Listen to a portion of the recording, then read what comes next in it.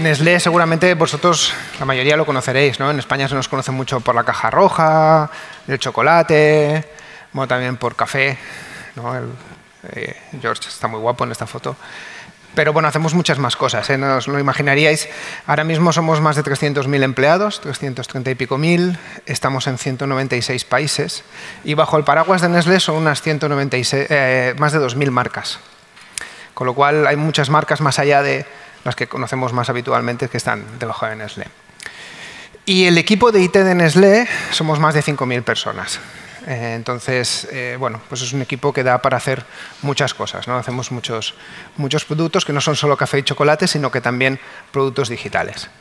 De hecho, Nestlé en el 2016 montó un Digital Hub aquí en Barcelona y ahora hemos abierto otro en Milán con la idea de crear precisamente productos digitales que se puedan poner en marcha en cualquier lugar del mundo, que nos sirvan para desplegarlos globalmente.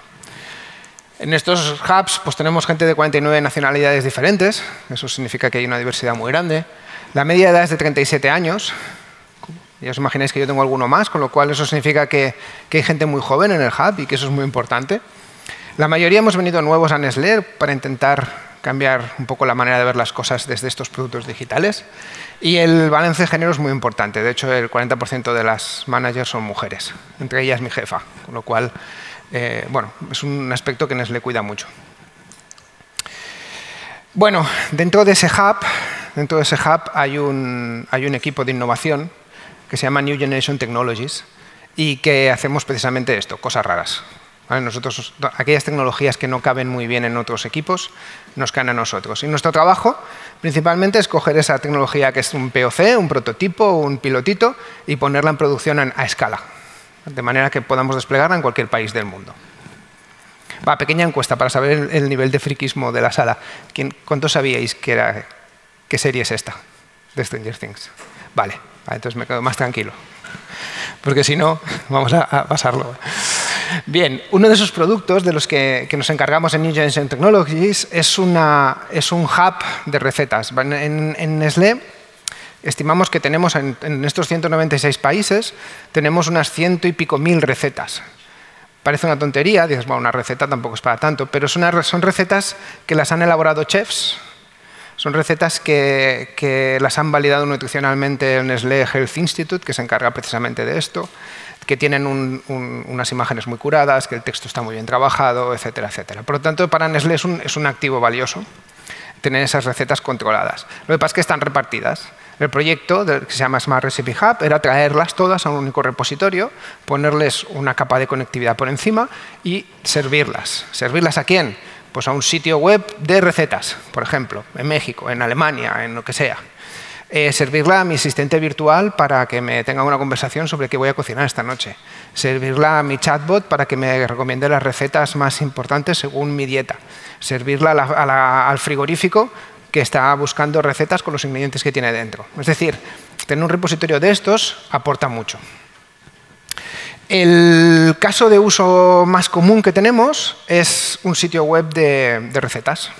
Dices, bueno, un sitio web de recetas no tiene tanto. Pues el sitio web de recetas parece mentira, pero es un pozo gravitacional de, tráfico de Internet.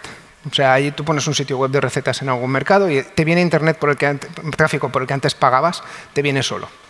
Y claro, como buen sitio web de e-commerce, aunque no vendas nada, aunque eso está linkado con productos de Nestlé, etcétera, etcétera, pero tú no vendes nada, como buen sitio web de e-commerce necesitas recomendación.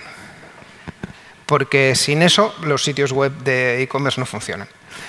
Seguro que conocéis un sitio web famosillo que se llama Amazon, donde se, puede vender, se pueden comprar cosas.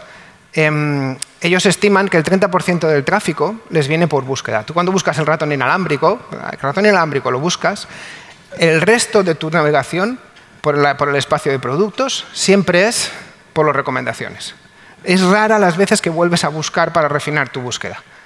Normalmente tiras de las recomendaciones. Por tanto, las recomendaciones son, son clave para estos sitios web. Entonces dices, bueno, pues eh, lo primero que tenemos que hacer es montar un recomendador. De recomendadores hay de diferentes tipos y se basan en los datos que tienes, que, usas. ¿no? Si usas los datos de usuario, pues puedes hacer una recomendación basada en el comportamiento del usuario. Mira, tú clicas por allí, compras aquello, te gusta esto, no te gusta lo otro. Con esos datos, pues haces un tipo de recomendaciones. Si tienes la base de datos de productos, recetas, eh, ratones, lo que sea, con eso haces una recomendación basada en los productos. Puedes hacer recomendaciones híbridas, teniendo en cuenta las dos cosas. Puedes hacer cosas muy sofisticadas. Pero la manera más fácil de empezar es con tu propia base de datos de productos. En Nestlé conseguir, por ejemplo, los, los datos de consumidor, los clics, los rates, todo este tipo de cosas es un proceso largo, hay que pasar muchos gates de seguridad. Por lo tanto, para empezar de alguna manera, empecemos con nuestra propia base de datos de producto, que es la más fácil. La tenemos ya aquí. Quizá no parece tan sofisticado como las redes recurrentes jerárquicas que utiliza Amazon para hacer recomendaciones en streaming dinámicas y que todo esto, pero realmente ayuda mucho, se, consigue, se consiguen buenos resultados, se pueden hacer cosas muy chulas y además resuelven un problema clásico en la recomendación que es el cold start. Es decir, si me entra en mi página web un usuario que no conozco porque no ha hecho login o es anónimo o es nuevo, ¿qué le recomiendas si no lo conoces? Pues tienes que basarte en la recomendación basada en contenido. Es decir, ¿qué estoy viendo? Pues mira, cosas similares a lo que estás viendo son estas. En el fondo, la recomendación de este estilo, basada en lo que estás viendo, se llaman recomendaciones por similitud. Y solo tienen un truco. Solo tienen un truco, pero es duro de, de conseguir. Es transportar tu producto, sea el que sea, a, un, a números, a un espacio vectorial. Si tú consigues hacer eso, eres capaz de trasladar, representar tu producto, sea el que sea, en números, tú puedes calcular distancias. Cuando puedes calcular distancias, dado un elemento, dada mi receta, dado mi ratón inalámbrico, dado mi, mi casco, lo que sea, yo puedo calcular los que están más cerca y, por lo tanto, recomendarte productos similares, que es de lo que se trata. Recomendarte productos similares al que estás viendo. En el caso de las recetas, bueno, pues está claro, nuestro trabajo es decir, bueno, cómo yo llego a representar una receta como un número, como vectores. No es fácil, no es trivial, vamos a buscar la manera. Pero tengamos en cuenta una cosa interesante. Diferentes maneras de representar la receta como vector me darán como resultado diferentes recomendaciones. ¿Y para qué tú quieres diferentes recomendaciones. Seguro que si vais a Netflix, otro sitio que seguramente conocéis, em, y que además son famosos por sus recomendadores, allí veis diferentes carruseles de recomendación. Que si en la misma película que Rambo 3 que la acabas de ver, tienes estos. Que si películas dramáticas como la que viste ayer, tienes estas de aquí. Que si películas no sé cuántos, tienes estas de aquí. Que si series que son tendencia. ¿Por qué ponen diferentes carruseles? Ellos tienen capacidad y músculo para hacer un único algoritmo súper mágico, caja negra, y que te devuelva un único carrusel. Que seguramente, si lo miras matemáticamente, ese, carrusel, esas, esas, recomendaciones, tendrán una probabilidad de, de, clic alta, muy alta. Matemáticamente seguro que es muy alta. Pero los recomendadores tienen que tener dos cosas importantes. La explicabilidad, creo que me acabo de inventar la palabra ahora mismo, y, la credibilidad. O sea, que ser, tú tienes que entender por qué te está haciendo esa recomendación el recomendador. Si no, no te lo vas a creer. Y si no te lo crees, no clicarás. Somos seres humanos y funcionamos así. Por lo tanto, en vez de tener uno, es mejor tener varios. Y para tener varios, tienes que encontrar diferentes maneras de representar las recetas en forma de vectores. Recetas o lo que tú quieras. En Amazon pasa lo mismo. ¿eh? Eh, eh, productos que son iguales que el que estás viendo, productos que se suelen comprar junto con el que estás viendo, productos que tal. Tú entiendes exactamente por qué te están enseñando eso. Va, si yo me pongo a pensar en recetas, yo lo primero que pienso es que una receta es un conjunto de ingredientes. Sí, yo puedo decir, mira, pues la receta es exactamente esto, es medio litro de agua, medio gramo de sal, bueno, pollo, pavo, etcétera, etcétera. Mi trabajo es pasar esto aquí. ¿Cómo podemos hacer esto? Bueno, podemos hacerlo de muchas maneras. Podemos pensar que cada ingrediente es ortogonal al otro, es como un one-hot encoding típico. El, uno, el agua es el uno, el, el, pollo es el otro y, tal, y vas haciéndolo así. El problema que tienes es que además tienes que ponderarlo por la cantidad. Bueno, no pasa nada, esto es un vector, lo, lo, multiplicas por la cantidad. Normaliza la cantidad, pásalo a gramos, porque te vienen en litros, en gramos, en rodajas, en pizcas, en cucharitas, te puede venir de cualquier manera. Bueno, no pasa nada, todo eso lo acabas consiguiendo y lo acabas haciendo. Y luego te encuentras con otras cosas que pasan siempre, y es que tienes elementos que son mucho más comunes que el resto. Esos elementos, como por ejemplo el agua, en este caso, sale muchas veces y siempre con mucha cantidad. Bueno, ¿cómo solucionamos eso? En vez de utilizar eh, los ingredientes como elementos aislados, los consideramos como texto. Consideramos cada receta con sus ingredientes como una cadena de texto. Y pasamos una técnica que se llama TF-IDF, muy clásica en el mundo, en el mundillo, para precisamente invertir cuántas veces te, sale de más un, elemento común. De esta manera, un elemento que, sale poquito es muy relevante para esa receta y por lo tanto la, similitud casa mejor. Pero tendríamos, podríamos ir más allá. Esto es como lo hemos hecho nosotros con TF-IDF. Funciona muy bien, pero podríamos ir un poco más allá. A mí me interesaría que una receta con leche y una receta con leche condensada estuvieran más cerca que una receta con leche y una receta con agua. Porque la leche y la leche condensada, semánticamente, tienen similitud. Y la leche y el agua menos. El pollo y la pechuga, de, la pechuga de pollo y la pechuga de pavo están más cerca que el cerdo, por ejemplo. Esto lo podríamos conseguir usando Deep Learning, podríamos usar Word2Vec, Globe o alguna de estas técnicas, sí, podríamos usarlas, pero el problema que tenemos, y esto es un problema que, te encuentras cuando pones algo a nivel global, es que la mayoría de los ingredientes que te puedes encontrar en México están fuera del vocabulario de los NLPs. Los modelos de NLP están entrenados con, inglés estándar, castellano estándar, alemán estándar, y se van, cuando vas a países diferentes, esas palabras no están. Por lo tanto, hay que descartarlo o entrenar el tuyo. Tienes que entrenar un modelo nuevo cuando, cuando te funciona muy mal o te sobra tiempo. ¿vale? Como nos funciona bastante bien y no nos sobra el tiempo, esto lo hemos dejado como punto de mejora y ya, ya llegaremos más adelante. Cambio. Bueno, ya ahora ya tengo dada una receta. Mira, recetas que, que tienen los mismos ingredientes que las que estás viendo son estas. Ya tengo una recomendación. Y las instrucciones de cómo se cocina. Las instrucciones de cómo se cocina también puede ser interesante, ¿no?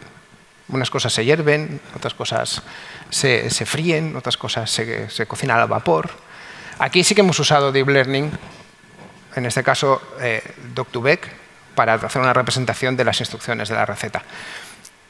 Y el siguiente paso que estamos haciendo, porque funciona pero podía mejorar, es usar BERT, los nuevos transformers que salieron el año pasado de la mano de Google, eh, para conseguir una representación vectorial de la receta realmente muy superior a la que tenemos. Ya tengo dos carruseles receta como las que estás viendo, que tenga los mismos ingredientes, estos. Que se cocine de la misma manera, estos. ¿vale? Ya tengo dos recomendaciones distintas. ¿Y, qué pensáis? ¿Que por la imagen podría ser importante? ¿Por la foto? ¿Podría ser importante? Aquí no estamos hablando de recetas, ¿eh? pero esto se puede extrapolar rápidamente a cualquier tipo de, producto que tengamos. Si estamos vendiendo calcetines, quizá la, imagen del calcetín quizá es importante. No solamente si es caliente para el invierno, para el frío, para el verano, estas cosas. Pues aquí os pongo un ejemplo, pero aquí los ingredientes son los mismos, quizá el pan cambia un poco, pero será uno de muchos. La manera de cocinarlo seguramente también, cortas en rodajas, etcétera, etcétera. Pero el de la izquierda seguramente quiere algo más sofisticado. El otro quiere un bocata, por lo tanto, tampoco le, le enseñes muchas cosas raras. Quizás sí que es diferenciador, ¿no? Menos mal que hemos hecho la pausa antes, ¿eh? porque si no esta presentación ahora sería cruel. ¿eh? bueno, realmente nuestro trabajo aquí es encontrar la manera de representar una imagen como vector, como hemos hecho antes. De nuevo, Deep Learning nos, sale al rescate. Sin redes como estas no seríamos capaces de, de, hacer esas representaciones. Nosotros la primera aproximación que hicimos fue con la Inception V3. Nosotros metemos la imagen de una receta por aquí como input y en vez de quedarnos con las últimas capas, que son las que me dan la clasificación, me quedo con la, con la average pooling de las últimas convolutionals.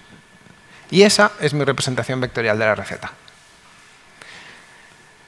¿Funciona bien? Bueno, hay que mirarlo, si funciona bien o no. Pero lo que está claro es que tenemos problemas. Los problemas es que tenemos unas 40 50.000 recetas o 40 50.000 imágenes y miles de dimensiones en el espacio.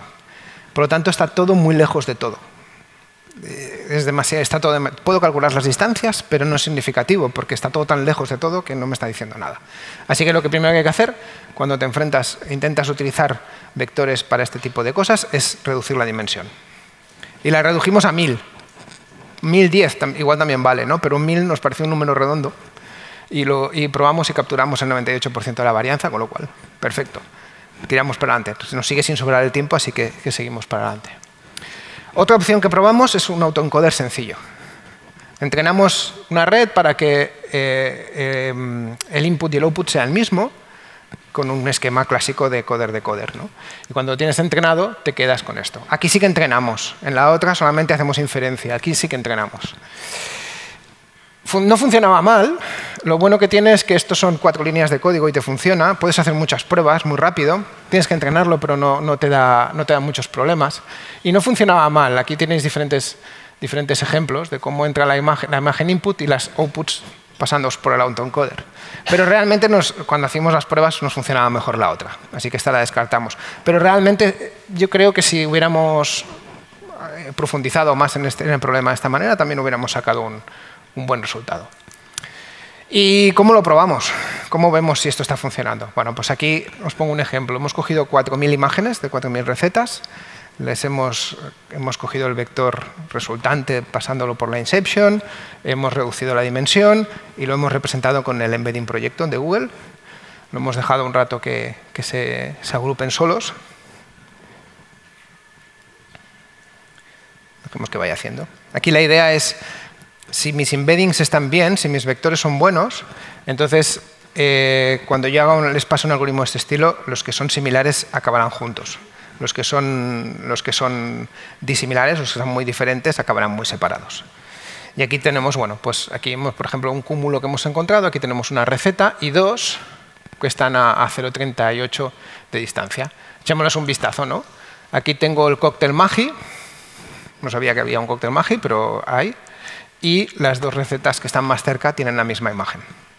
Está encuadrada diferente, fijáis ahí arriba hay unas limas no sé qué más, o sea, está encuadrada diferente, pero es la misma imagen, por eso son las dos más cercanas. De hecho, esas dos son la misma exactamente, por eso están a la misma distancia de la primera.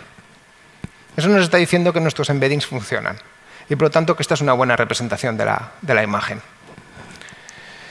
Y os pongo unos cuantos ejemplos de, la mayoría de estos, de los buenos, ¿no? los, malos no me los guardo para mí, pero algunos de los que funcionaban de verdad. Fijaos que muchas veces encontrábamos recetas que tenían la, misma imagen como la receta, pero diferentes encuadres. Pero no pasa nada, está bien. El algoritmo funciona. Además, como esto está funcionando, nos estamos encontrando que podemos abrir un melón que es el de buscar recetas por imagen que es un caso de uso que salió de lado, no nos, colateral, no nos esperábamos, pero al funcionar tan bien podemos hacer una, foto o una receta y buscar por imagen. ¿Por qué no?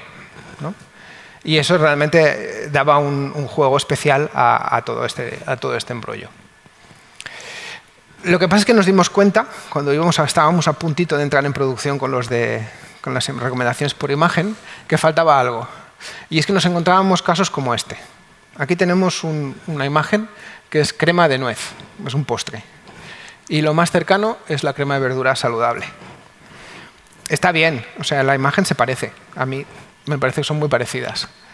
Pero si alguien te está buscando postres y le enseñas unas verduritas, o peor, si alguien está buscando cosas saludables y le enseñas una bomba, calórica como un postre tipo crema de nuez, pues no, se va a fiar nada a nuestra recomendación y por lo tanto va a dejar de clicar y por lo tanto no nos sirve. Nos estaba faltando algo. ¿Y, qué puede pasar? ¿no? Pensemos, ya que somos humanos y no somos máquinas, pensemos, ¿qué nos puede pasar? Quizá tengamos pocos ejemplos. Quizá esta receta concreta, esta imagen, tenga las más cercanas un poco lejos, porque hay pocas. Podría pasar, pero aquí tengo poco que rascar. Tenemos las que tenemos y no podemos hacer nada. Quizá la Inception no está haciendo bien su trabajo. Quizá eh, esa, representación no es suficientemente buena, pero, pero oye, la verdad es que la Inception funciona muy bien. Yo he hecho las pruebas hemos hecho las pruebas mirándolo cómo están funcionando las similitudes y realmente tienen buena pinta. No es eso. Realmente lo que pasa es que nuestro cerebro ha hecho trampa. Nosotros como humanos hemos añadido metadatos a, a esa imagen.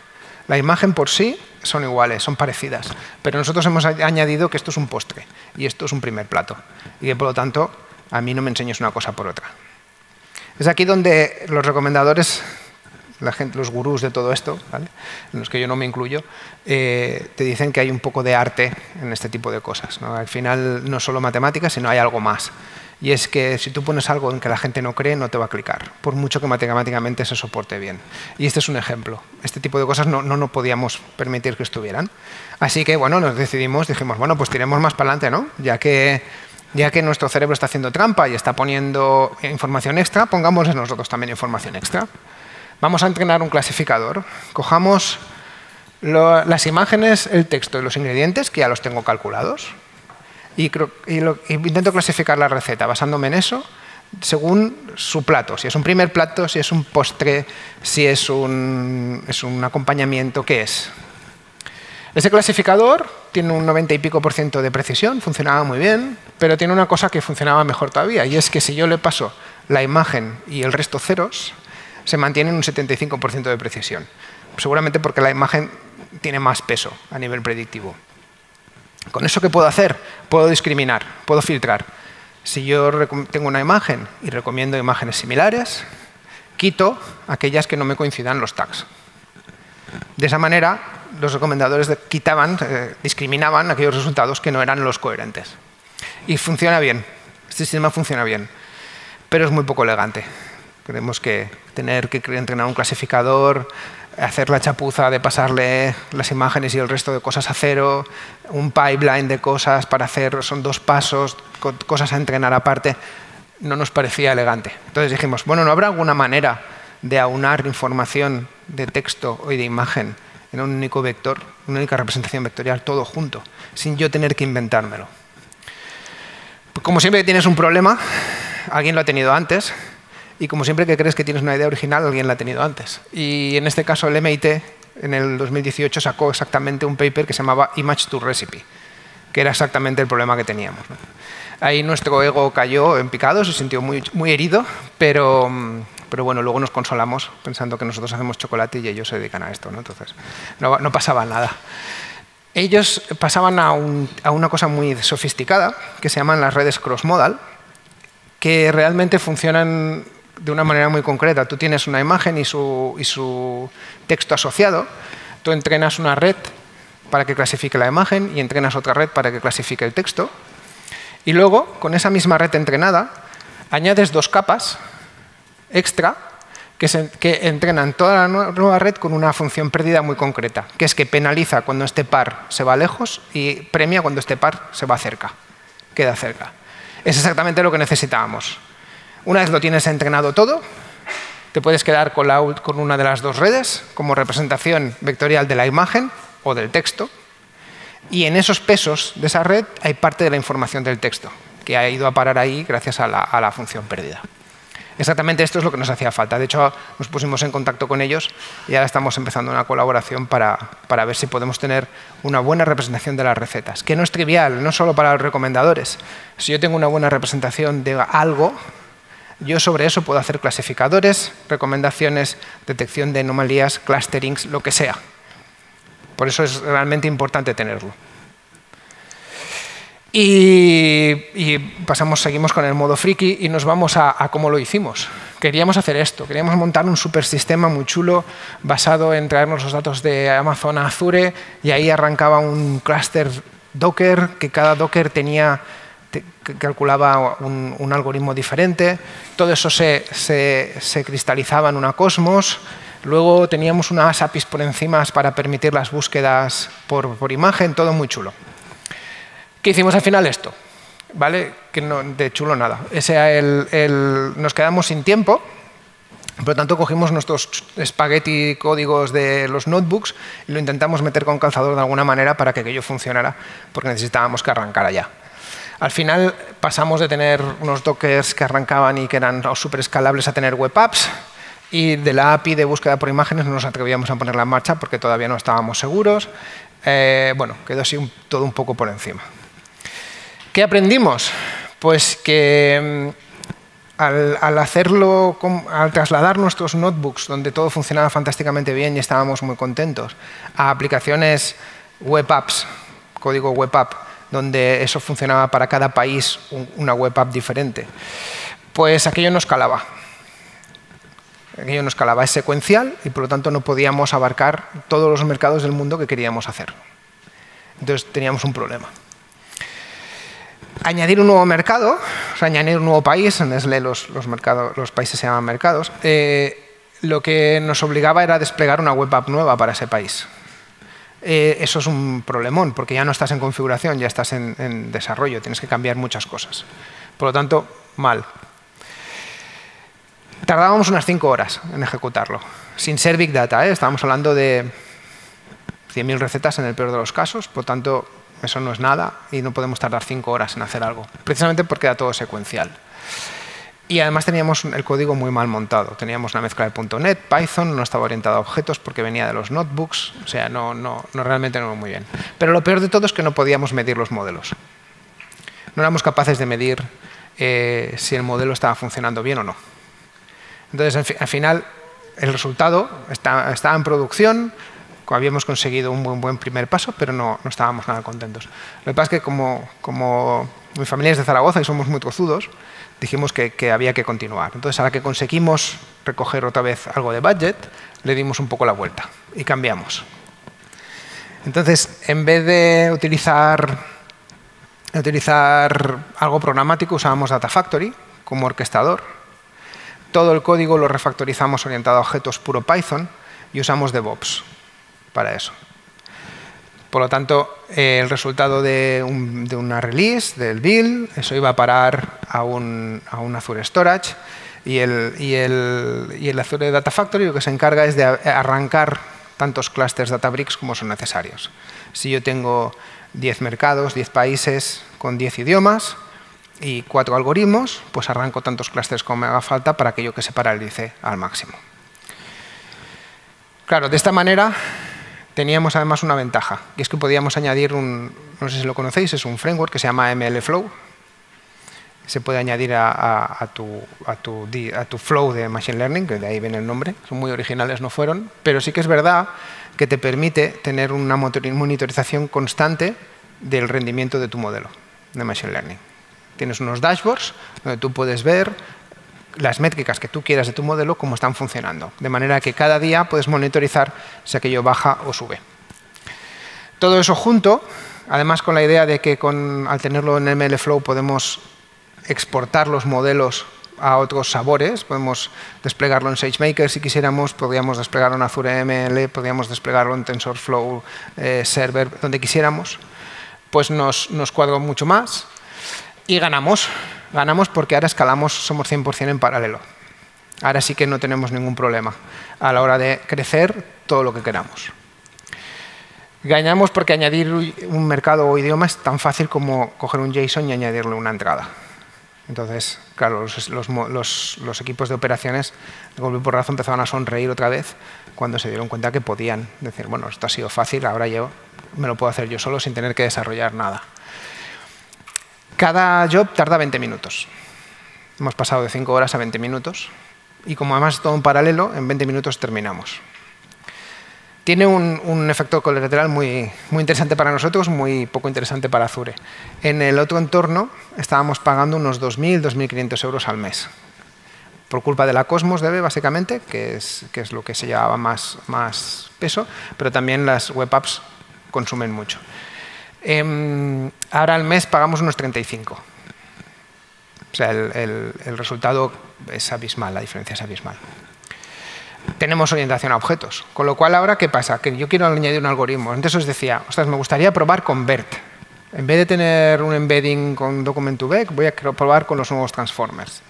Bueno, extendemos las clases, aquello pasa por Azure DevOps, Continuous Integration, se hace el build, se crea una nueva release, se enchufa directamente donde toca en, el Databricks y se ejecuta un nuevo algoritmo. No tengo que cambiar absolutamente todo el despliegue que tengo, es prácticamente automático. Y sobre todo podemos monitorizar el rendimiento de los modelos, que para nosotros ha sido la, la gran diferencia. Porque yo no puedo poner algo en marcha y no estar seguro de que hoy está funcionando igual, por lo menos, igual que ayer. Y si decrece, me tengo que enterar por qué que de, esta manera, como estábamos ahora, no podíamos. DevOps nos funciona muy bien, pero sobre todo ahora tenemos un buen framework para crear cualquier tipo de, iniciativa basada en Machine Learning.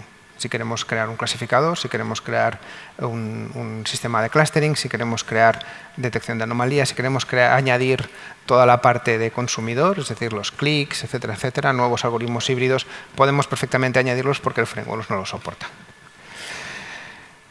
Bueno, con esto ya me callo. ¿vale? Conclusiones, em, siempre tener en cuenta la imagen porque somos seres humanos y las cosas nos entran por los ojos. O sea, una característica importante de las cosas son las imágenes trabajar con las imágenes no es trivial. Requiere, requiere esfuerzo, pero yo creo que vale la pena. Para cualquier cosa, ¿eh? no solamente recomendaciones, para cualquier cosa.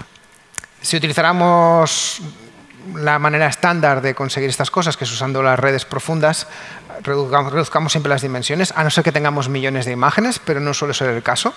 Solemos tener cientos o miles, pero no millones.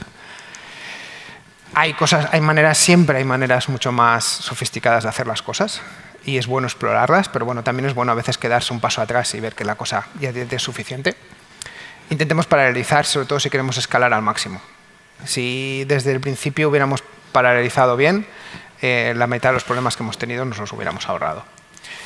Y sobre todo, para mí lo más importante, hay que medir, medir, medir, medir todo lo que haga falta porque sin las mediciones vamos un poco a ciegas y, no podemos asegurarnos de que todo funciona.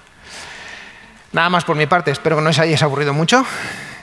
Encantado de haber estado aquí, gracias por haberme invitado y mm, para lo que queráis.